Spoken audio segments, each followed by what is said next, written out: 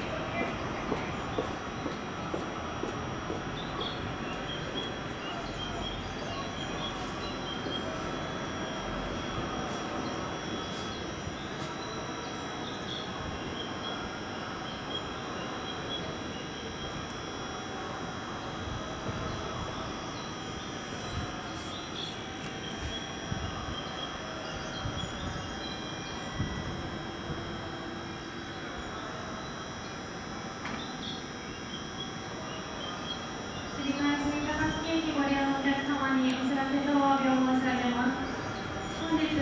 城県竜河の踏切にて人が立ち往生しておりました。その安全確認を行いました影響により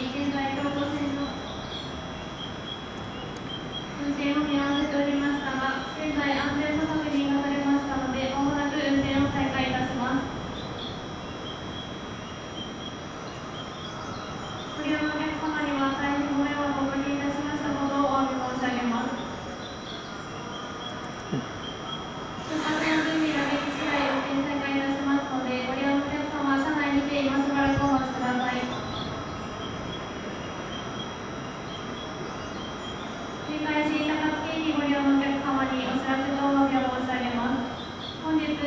城線両日間の踏切にて人が立ち往生しておりました。の安全確認を行っておりました影響により